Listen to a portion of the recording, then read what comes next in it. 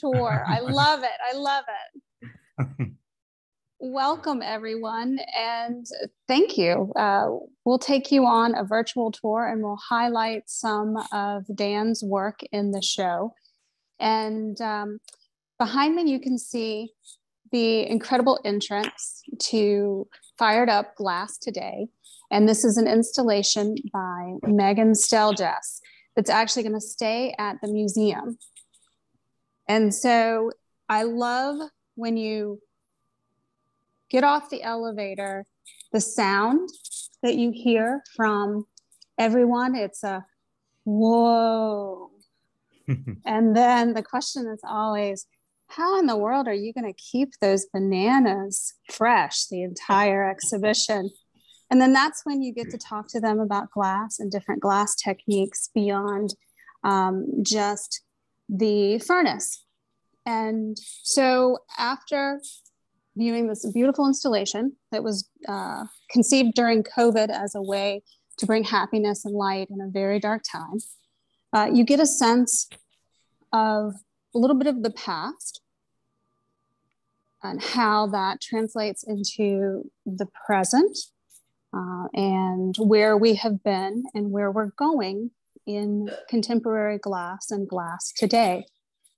So we have this gorgeous example of uh, some of most recent work and Nancy Callan, Dante.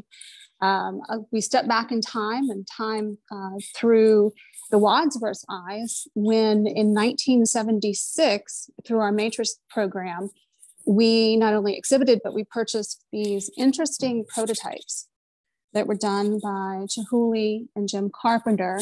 And right up in the front of the show, we discussed that, that history and that 60, like 60 year um, mark and the anniversary of the studio glass movement, but how uh, we are trudging forward with more narrative and looking at social concerns. Um, also, right up front, we, we talk about flame working through Micah Evans's beautiful Singer sewing machine. This is actually his first of three. And if you're getting whiplash, just shout out and say, hey, uh, quit turning the camera so much. Um, and I thought it was important uh, to place Jason McDonald in this, this, this part of the show, the, this past and present. And, you know, he's a master of technique, but in that discussion about narrative and the importance of these shared realities around race and uh, environmental concerns, sexuality, other really um, forward um, conversations that are so very relevant to, to many of us today. Um, this is, it brings that conversation to the discussion of, uh, you know, the importance and, of technical prowess, but also pushing boundaries, not only through um, the creation of a work, but the conception. And I the designer is Lee Weaver, as we mentioned, and Lee does not call this the runway, but I do. um, and one of my my favorite baskets of, of Dan's, I actually saw this in Seattle, and I've seen a lot of his work and a lot of his baskets, and this particular one stood out to me.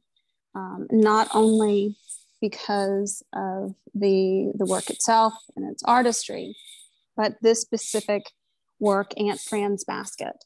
And Dan tells the story so eloquently uh, about Aunt Fran and how she um, she helped him connect and to move forward in his work in a way that was a moment.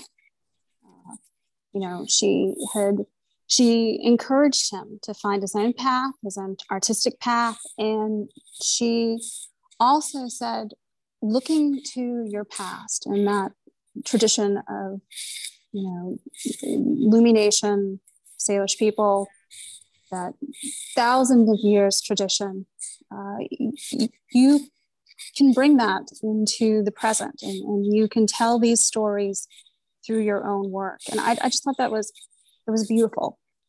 Um, and so it's, you know, it, it, it, speaks to technique, but in this show and in Fired Up, uh, we, we acknowledge that glass today is a, a great deal about, about storytelling. Um, and you see uh, Peter Bremers and some flame working uh, with, with Carmen's Sugar Sugar I love her new work. It's so fantastic. Um, and Sugar Sugar is one of my favorite. We do address um, the, you know, flame working is shown throughout as one of the many techniques that are um, used by artists today working in glass. Um, and here is a, a, little section that is devoted to the pipes. We, we talked about that with Tim Tate. And I love seeing Demetra and Dean, the sight line to this um, to this installation, Flying Under the Sky, is seen all the way from across the room. Uh, it's, it's stunning. And I have to tell you a little story. I heard over the radio, because I was in the hot shop, that uh, there was a spider in the leaves and that the guests were trying to, to, to help. And I said, Tell them I'll be there just one second. and I ran up three flights of stairs. And sure enough, there was this little spider who was so comfortably crawling in this installation. Um, and I had to flick him off into oblivion. Um, but this, uh, you know, flying under the sky is, is stunning. And um, pâte de verre technique has certainly captured um, our guests' imagination. And so just to back out and show you some of that, that sight line. Um, and Shayna Leaves, uh, Shayna Leib's, uh, uh, American and French pastry series is phenomenal in its use of ceramics and glass and all of the techniques I often marvel that this was once packed and those cherry stems survived. That's incredible. Um, and, you know, this is a commentary on desire. Uh, what do we desire most that, that which we can or cannot have? Uh, and also on uh, America, America and its, its use of chemicals and preservatives in our foods. Um, so to take you back um, and we'll just continue on.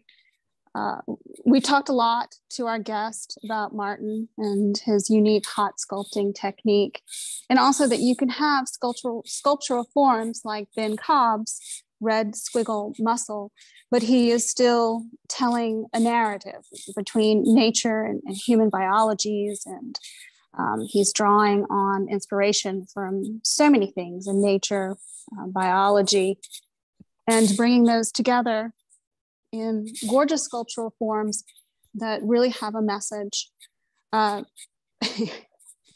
Megan Stelljes, as I mentioned, you know, she she often talks about uh, sex, sexuality, uh, consent, um, sexual health. And I have to tell you, when I was giving one of my docent tours, someone asked me, How does a banana relate to that? And I said, Oh, dear me, I can't go back to the conversation about the birds and the bees. Um, and here you see Ken Thomas cloud capturing apparatus and cloud writing contraption. Uh, you know, this is when you feel marginalized and out of place, you often want to escape into some other world or realm. And these clouds, if you capture them, you too can ride away and be somewhere else. A lot of the artists, if we're going to uh, talk about Dan for one other second, uh, he did this installation of Salmon Run specifically for the Wadsworth. Uh, and this uh, these salmon sculptures were actually made uh, in 2022 but with this you know we we talk about ecology and that history of um, indigenous peoples being here for millennia. And then what happens when natural resources are taken away and they're relegated to places, uh, you know, the Lummi Nation is now residing on a small spot in what is the San Juan Islands, and all of the islands and all of the land um, used to be theirs and the respect they gave to the natural resources and then what happens when those resources are taken away and depleted. So you know and also the configuration which dan will, will talk to you about at some point um, is significant in terms of um, the head uh, salmon and how they move through the water do have actually, uh, Brandy, if I can jump in for a minute? Yes. Uh, a really timely moment here that Dan Yay. solved his issues and is able to start his presentation. So I'm so glad we got to see his installation there and um, a little bit of his work in the museum. And now we can turn things over to Dan. I will have Howard put the spotlight on him and um, have Dan get started with his presentation. So thank you everyone for rolling with us today and I'd uh, love to introduce Dan Friday. You are muted, Dan, so uh, you are gonna have to unmute yourself. And thank you again to Brandy Culp. Thank you very much for doing that. Hi, Scott. Yeah, I'm so sorry. My apologies, everyone. I'm computer challenged here. Uh, uh, yeah, hi Scott. I appreciate that. Thanks for everyone for hanging in there. I guess you guys are the true blues, huh? Sorry. um, the uh, let me just figure out the share the screen here too. Um, see here, share screen. Boom. Uh, PowerPoint. Is that working right there? You yes. All right, let's do one of those. You got it, Dan. Good job. All right. Hey, thanks, team. Thanks for hanging in there. Uh, really sorry about that again. Uh, Aishkasiam, Nachalachasiam, uh, and it's not quote, quote, or Dan Friday. Um, member of the Lummi Nation, and uh, happy to be here today. Also, a glass artist from Seattle. This is uh, this is where I come from. This is Lummi Island, which is a resort island and not necessarily uh, the Lummi Reservation. If you see just to the right of that, that's that little peninsula. That's actually the Lummi Reservation. But all the San Juan Islands here, this is where the Lummi people come from. Uh, prime real estate, great uh, sailboat country right there. Uh, but uh, kind of a small little wetlands that we're on now compared to the to the great islands that we're, we're from. Uh, this is my sister Ray, Ray Friday. I'll just kind of add her in my story a little bit because our story and our past as glass artists kind of uh, go together. Um, this is my family, my brothers, my auntie Pauline, Scala, the killer whale at the Stommish boat races. This is my great great grandfather, Kokot, or uh, Heitaluk, pardon me, and his family. And uh, just kind of want to point out the the fly couture of the day, Coast Salish blankets. Uh, and this is he. He's a really strong um, person in the Coast Salish uh, community. He lived in both, like his, he kind of stood in in two different timelines. He was really from uh, the longhouse tradition and lived in a longhouse. He had 22 children, and when his oldest son Richard died, uh, he raised his 12 children too in his longhouse. And uh, my great grandfather, Quoquo, uh, was his uh, firstborn son, Joseph Hilaire, and Joseph Hilaire, you'll see here, this is my uh, great great grandmother, Agnes Haumea, who's actually half Hawaiian and half Cowichan. There's a long history of Hawaiians in the Puget Sound, but that's a, another presentation. This is a Nootkin style canoe, which is from the northern, uh, from northern Vancouver Island, but this was kind of like the Toyota Prius of the time where everyone had one of those. This is the Setting Sun Dance Troupe. And this is kind of the first photo of my great grandfather, Koko, who I share the name with in the front and center. And that's uh, Heitaluk's son. This is another picture of my great grandfather, Joseph Hilaire. Uh, my son's name is Joseph. My middle name is Joseph. We have one of those families where everyone uh, has the same name. Uh, So there's probably about 20 Joe Hilairs up there. Um, this is my uh, grandmother, uh, Edna Price from Nisqually. And uh, this is cousin Harry because I got jokes because I'm late. Got to keep it keep it moving. Uh, but today, this is uh, this is Stommish today. This is the canoe races that are annual that have been going on for hundreds of years at Lummi and Hales Pass.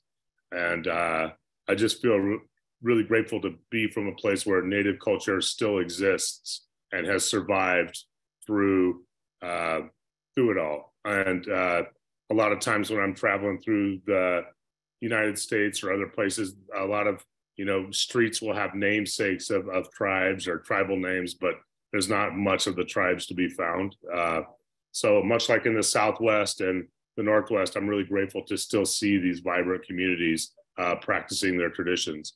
This is a glass panel my sister Ray did, Ray Friday, uh, of Hales Pass and those canoe races. There's a picture of her making work at the Pilchuck Glass School. This is some of her work. This is her thesis. This is over a ton of glass. And she's an amazing glass artist, but she's not, she's a bit of a wallflower in some regards. And that's why I always try and toot her horn a little bit when I'm up here talking about my work. Um, this is uh, my former life. I was a fisherman mostly and a mechanic and something I gave, quit so many jobs just to go fishing, work on cars, hot rods. Um, and when I was 20, I found glass blowing. And so I uh, have started at a factory and kind of made these connections. This is uh, Preston Singletary, uh, much through the Pilchuck Glass School. And just by proxy of being in Seattle and you meeting so many uh, amazing artists, uh, you know, I was ready to make factory items and paperweights for the rest of my life. But after going to Pilchuck and meeting you know Dale and the likes of people in about 2000 just has uh, really influenced my career in in a way that is different from you know like accredited art rubber stamped uh, I, I, don't know like you're just not like anointed to be an artist. It has that old world uh, feel of, of apprenticeship uh, when you come up that way. These are some of my very first pieces. This is the is my first fishing boat. It's my uncle Reuben there's some of the early pieces, early 2000, 1999, from my first show at the Daybreak Star Cultural Center with Terrence Guardipee, canoe, paddle, tomahawk. These are called serenades. This uh, piece is called This Land Is. Uh, this is Trail of Tears. And these are from about, like I said, 2000. It must be 2001. Uh, and after about 12 years of working in glass, I uh, went to my aunt Fran and kind of said, "Hey, you know, look, I'm I'm working for this great artist named Dale Chihuly, but she had, um, but she said, well, where's your work and who's that?" And uh, it was it was a real like epiphany for me. It was like, you know, hey, Auntie, I work with these. Everybody I work with has got these uh, art degrees, and it's really tricky to get a job. And my aunt who I'll go into more later, is just a really powerful uh, figurehead for our community and culture bearer. And so when she said, "Well, I'm not an artist," and her stuff is in the Smithsonian and around the world, um, you know, she's just been a huge cultural purveyor for uh, our tribe. And her son was a hereditary chief, and so uh, when she kind of said, "I want to see your work. It's time to get to it," I I, uh, I took that to heart. Um, this is an owl that stayed in my cabin at Pilchuck after I'd been making owls for about a week. Sorry, there should be more images of that. This is a the the crest, the Haytiluk, Haytiluk's crest, the crest of the bear, and you can see I wear one around my neck.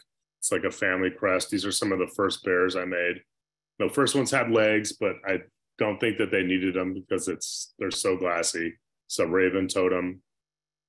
Lots of ravens. This is the Wecklium totem, our Wecklium comb. The Wecklium is the name of the Lummi Longhouse. This is uh, my great grandfather, Quoquo, and he is uh, carving a story pole or totem pole, as they're more commonly known, uh, in front of the Norton Building, which is a really historic building in downtown Seattle. And uh, although he passed, he he passed before I was born in 1968. Uh, he his his legacy has really shaped my path a lot, and I've been really honored to carry his name. This is a book about him.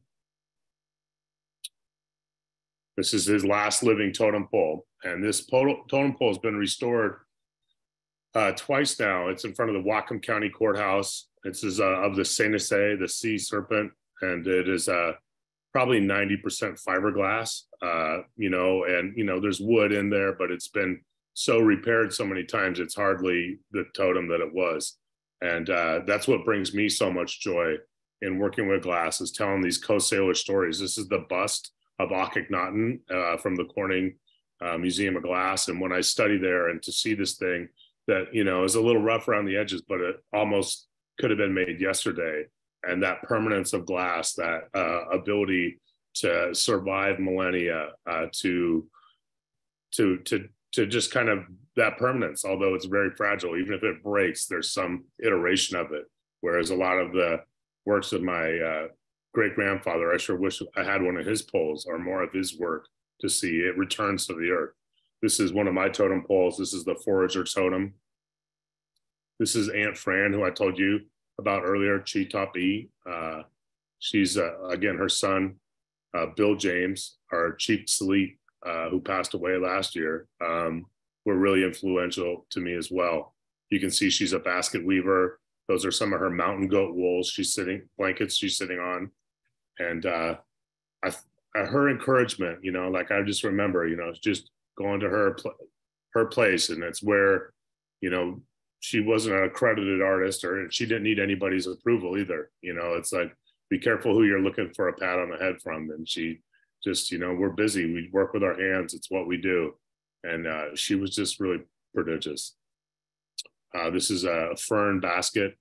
Um, you know, I started the basket series shortly after she passed away, and I wish you would have seen them because uh, she really was inspiring to me. This is my sister Ray Friday uh, assembling a basket.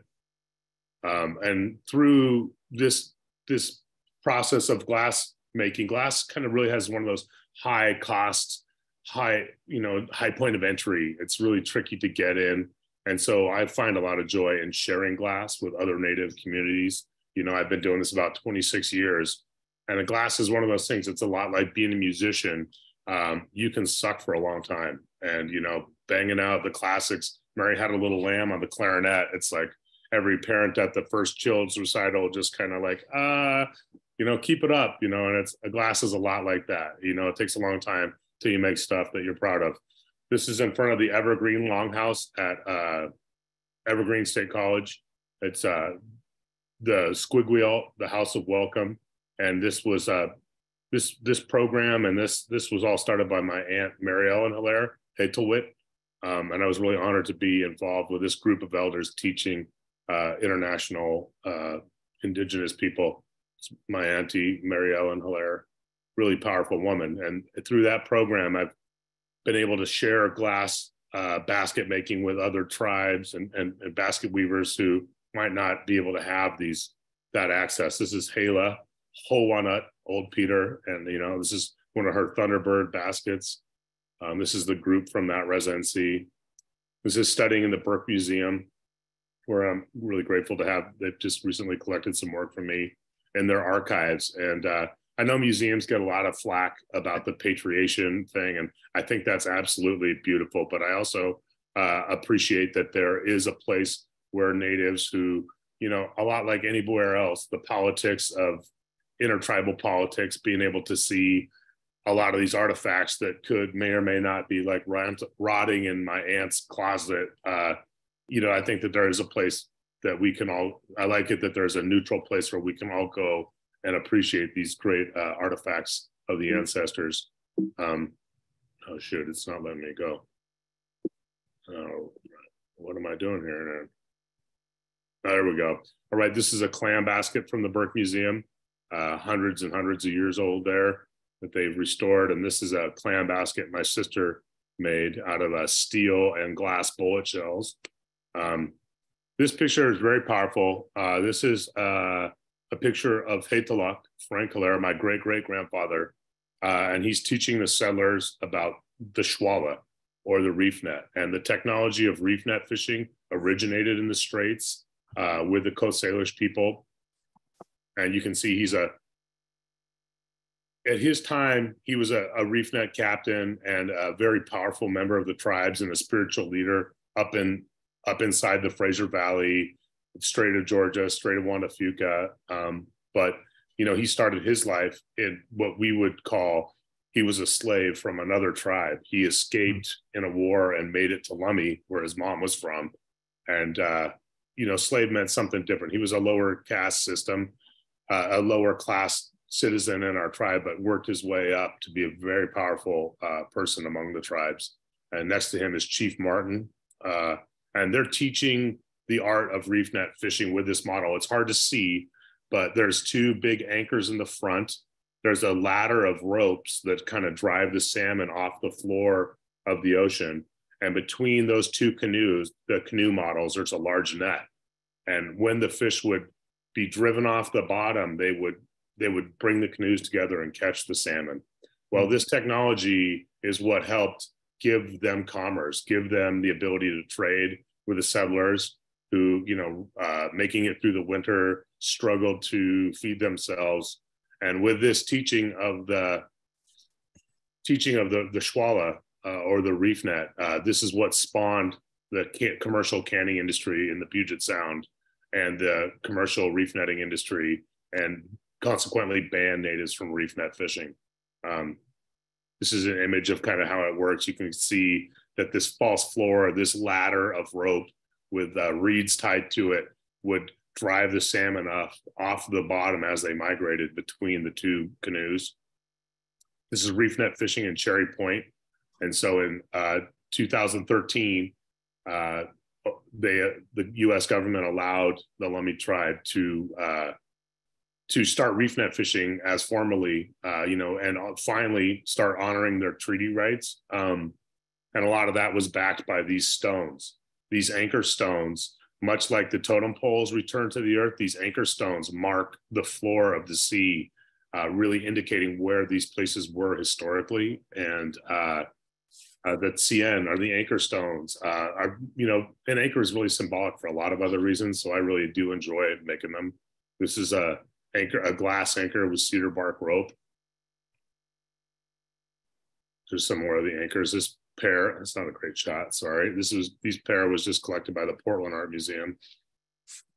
And aren't you um, making, weaving that rope yourself, Dan? On yes, the... that, that's hand woven cedar bark rope. And I'm not, I don't have the patience of some of the amazing like Haida weavers or the watertight baskets, but I, I do uh, enjoy that process. And a lot of what uh, a lot of what I enjoy, what people don't see, oftentimes people see the work and either like it or don't. But what is so amazing about glasswork is the teamwork, the shop, or how it was produced. Um, and that's what I find a lot of joy in is that making of the work. But in making of this other work, like my museum work, uh, I just recently had a solo exhibition at the Museum of Northwest Art. Uh, it kind of takes away that thing where I'm only a gallery artist, which I'm very grateful for.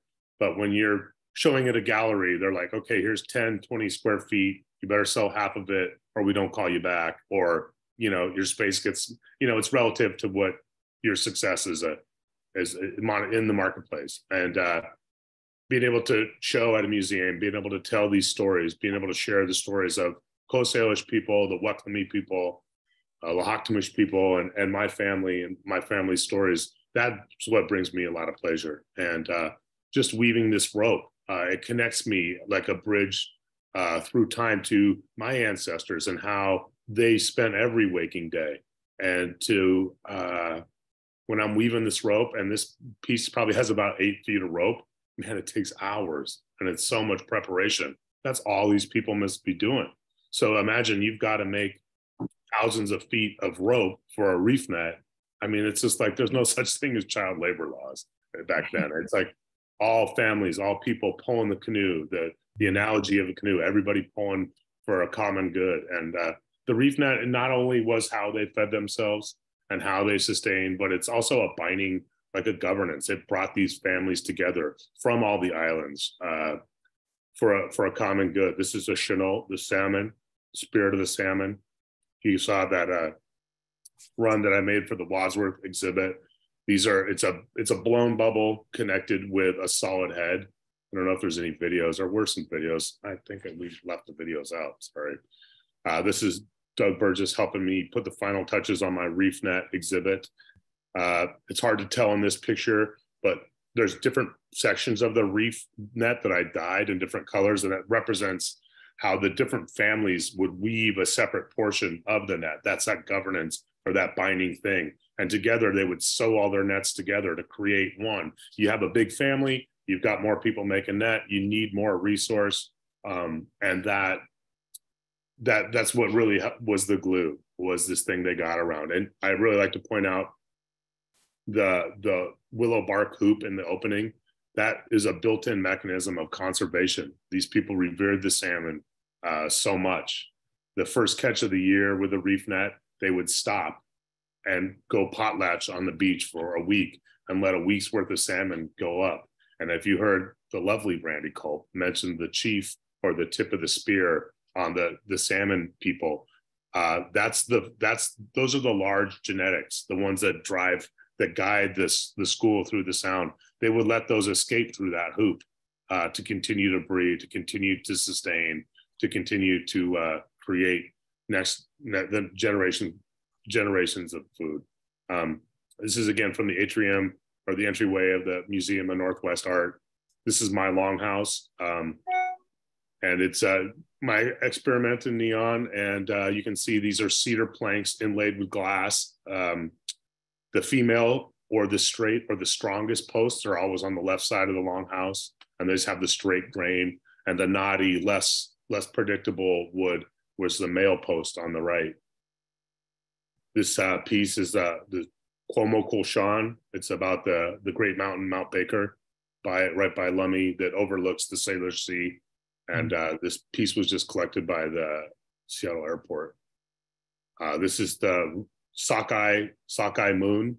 This is a, a moon, a full moon with uh, the white butterfly, or commonly known as the cabbage moth now, which all gardeners hate.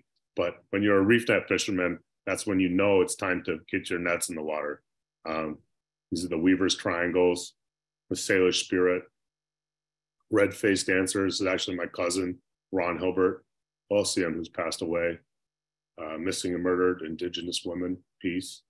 This is a very famous painting by Paul Kane, famous in our world anyway, because this is one of the few depictions of the skukka or the Coast dog. And this is uh, Cowichan women weaving a really traditional. I pointed out the blankets in that first slide, but this uh, this industry, this this textile industry, was it's was really so impressive to the first when Captain Cook uh, he wrote about the skukka or the the Coast Salish dog in his journal, and this is evidence, and this is the this is the you know their connection with animal husbandry. These people were pretty proficient, and uh, this dog's fur is actually what they wove with mountain goat wool, mm-hmm. nettle fibers, uh, uh, cedar cedar bark to keep the moths away.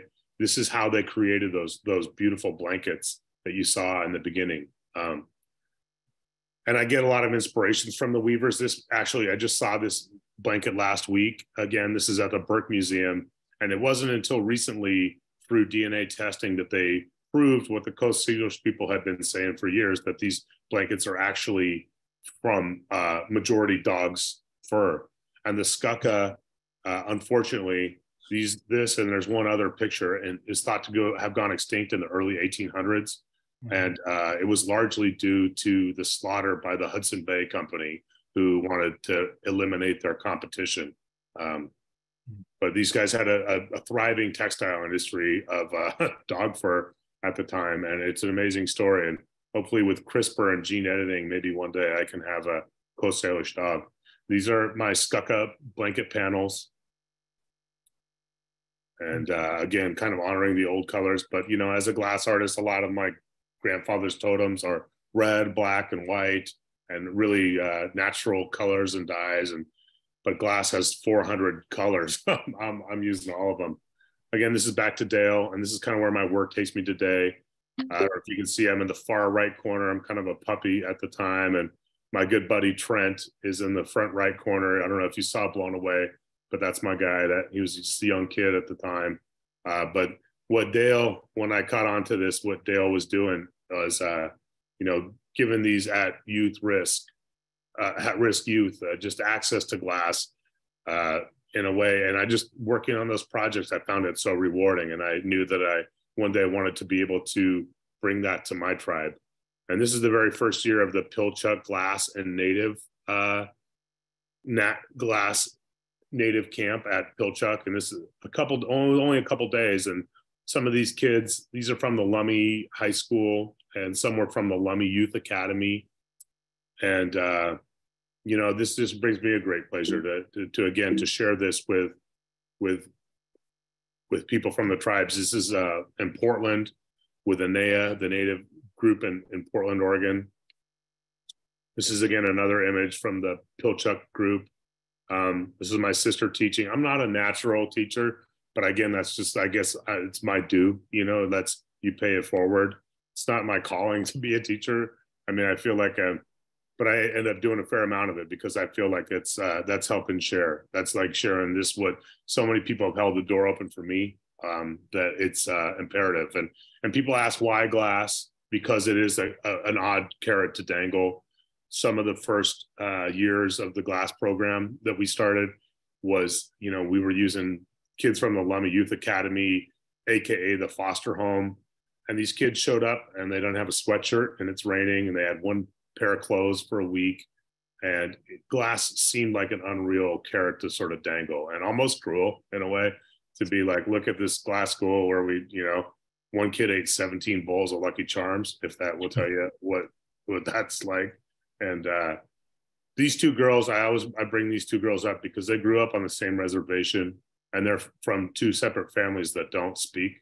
And uh, hmm. they are aware of each other in uh, you know their whole lives but not uh but never you know you just don't talk to the hatfields and the mccoys is how you do it and after this week up there i could have swore they might have been best friends uh and that's what glass that's what doing this work is is brought for me and you know being in the moment working with glass um being able to be burnt it keeps you in the moment if you have some sort of add or some sort of like uh you know the you're trying to forget about the troubles at home. Glass keeps you honest and in the moment. This is uh, my family today and my dog. Aishka, Aishka, thanks for coming. I'm really sorry about the, the delay and, and sorry about my unprofessional uh, performance. I guess things only happen when they're supposed to. And thanks for hanging in, you true blues. Oh, it was wonderful, Dan. No problem at all. We're so happy that we were able to connect and, and get your uh, computer sorted out in time. So thanks so much for sticking with it on your end. Um, your presentation was amazing. And I think that, you know, something that's just so incredible about your work is uh, not only, of course, the, the technical prowess that goes into it, but the connection with the community and the stories behind it and being able to hear a little bit of that from you is just so special um, so thank you for sharing that tradition and the stories of your community. It's so important and uh, we're really, we're thrilled to have you as part of the program today. I'd like to open it up and um, if anyone has any questions, please um, either put them in the chat or unmute yourself. We would love to have you um, ask away. Um, Dan, the moment in Fired Up when um, when you were had to leave, but you gave your totem to one of the other contestants. Um, why don't you talk a little bit about that? That was such a moving moment for me. Of course, I didn't want to see you leave. Yeah. enjoying all your work, but maybe you could uh, comment about your interactions with those folks and uh, you know how you felt about leaving and staying and yeah well, it's like um yeah, I guess I mean I'll just kind of cover all the bases and get to that place.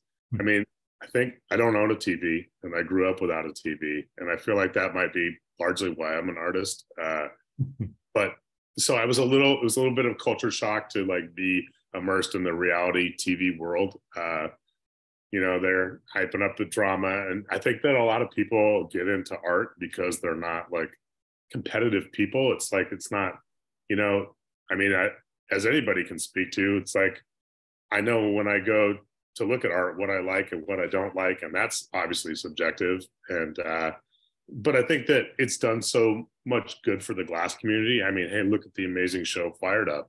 Uh, look at look at uh, what we're talking. I mean, we're talking about it now, and it's it's brought it's it's helped it's helped all the ships rise with the tide in a lot of way. Uh, and so I went on. Uh, you know, I didn't really have my heart set on winning, if I'm being honest. But I, I'm glad that I, I had a good showing. You know, I would have liked to win one more, maybe, but I wasn't. Uh, you know, it was. I mean, things just happen how they're supposed to. And uh, Trent, that that's one of the things is they really want to hype up the drama because I guess reality TV shows these days are uh, 90 Day Fiance or Bachelor, and I mean, like people get married in 90 days. Is that even like what are we watching? You know, and uh, so that's to all the cast and crew. That's what they work on is those sort of shows, and so they're really trying to like hype up the the Orange County drama or whatever it is, and uh, you know, I was just grateful that there were real moments, and some of the best parts again are behind the scenes when uh, people in the glass community who I will always try and, uh, you know, I, I, will never leave. I'll always be talking about that, droning on about the, the glass community, but it is, uh, you know, was hanging out with all these, my friends and, uh, in Toronto and going out every night, hot pot, Indian food, karaoke, all the, all the good times. Um, and so when we, when I got there, I knew seven of the other contestants and most of them for 15, some of them 20 years and mm-hmm. so it was uh it i don't think that it was i mean i think it worked out great for them but it you know that that that competitive thing and then i think when just a little bit of like unscripted humanity slides through i think that's okay too. And then I'm, i was glad that they wasn't sure they were going to use that because they do two takes for everything. Mm-hmm. and uh i mean so much of it is just like stand over here say this again do that. So i mean i was it just worked out the way it, it did. And so thanks for saying that. And for people, I, I, think most people are familiar with the program, but for those that might be on that have not seen it, um, Dan is talking about the Netflix reality show Blown Away, which is a glassblowing reality show that has been um, it's now in its third season that dan participated on. And it was funny because when i asked dan to participate in our program um, it hadn't been announced yet that he was going to be a contestant. And oh, so wow. I, I got him on the fired up program. And then i think it was like a couple weeks later uh, the cast of the reality show was announced. And i said dan you were holding out on me not telling me that you were going to be on that. So so it was a nice coincidence there. Yeah well, yeah, it was uh, it was one of those things. Yeah, biting your lip. I'm like, well, you, everybody's talking about this thing I can't talk about. I'm not really a big secret person, but again, you know, just that community, a glass. I'll, I'll just always turn back to that, like Brandy and that that show she put together, and with uh, you know, it's it, there's there's so many different people that. uh I mean, glass. I mean, we're all kind of looking for our family, right? I mean, whether it's the family we're born into, whether it's your glass community uh, that's why I feel really fortunate just to have this glass community. Somebody asked in the comments, how big is the Lummi Nation? There's about 3,700 Lummies that live on Lummi, uh, the peninsula. And then I think there's total about 6,500 registered or enrolled tribal members. Um, one of those things, I think that's what we're doing in this life, though, is we're trying to find those connections and trying to find our uh, our extra family. And I, I mean, I knew right when I landed in Glass that you know it's I might not have fit right in if I'm being real honest when I got here, and I didn't have uh, I kind of had a colorful past of my own. Um, but I mean, through a loving community, and, and you know, just the rest is you know history, and I kind of knew I was right where I was supposed to be. Any more questions from the group? Uh, I don't have a question, uh, Demi, but I just want to say hi to Dan and to thank him for sharing uh, the wonderful and fascinating stories about your cultural history and your ancestors. It's wonderful to see those old pictures. Um, you know, they, they have a tendency to disappear over time. So it's great that you were able to show them. And obviously it's great to great to see your work. Uh, I've known Dan for quite a few years and have seen uh, his work progress to where it is today, which is just fabulous. And I'm very happy for his success and for Raya as well. She's become an integral part of Pilchuck now, and that that's great to see. So, thanks very much for bringing uh, the the art and the culture and the history to uh, the glass community. And um, that's sort of in tune with someone put in the chat uh, whether or not Dan is training a new generation of Fridays in glass art. And I really appreciated that you added some photos of Raya in your presentation because um, I know that she's been doing her thing as well. And you're so supportive of one another. Um, that's really wonderful to see. Yeah, I, and like again, she's a lot of she's helped me with so many of my things, even if just talking me off the ledge sometimes because art is crazy. Um, I am so excited that she's working at Pilchuck and this last summer just being up there and uh, I'm glad that she could kind of come home. That's what we're always saying up at the reservation is when you coming home. Uh, and uh, we don't live on the reservation, but we are a whole lot closer to it. In fact, uh, I'm actually now moving to Samish lands and Upper Skagit, so it's will be right next to to Pilchuck, and so hmm. yeah, I'm grateful to to get the family back together that way. Can, Any can I, questions? I'm sorry, I need to talk some more, Demetra. Um, Dan, what you're describing, I think, is true for a lot of the people that I personally know on this talk. You know what I mean? We've become, I'm a collector um, and now an educator, but we've become a family with the artists, with people like Brandy Culp, and uh, there are a few gallery um, owners on this um, talk also. So I, everything you said, I could have said about my interactions in the last 25 years that I've been a member of this community. And um, we're all here for each other, and it's quite wonderful, I believe. Thank you. Well, thank you, Dan, for a really, really wonderful and thoughtful presentation. Also, a big thank you to Brandy Culp from the Wadsworth Museum. Cover and- my butt.